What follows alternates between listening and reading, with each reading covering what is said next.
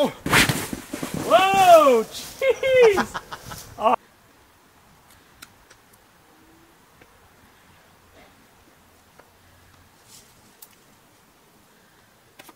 Yeah, that might be good.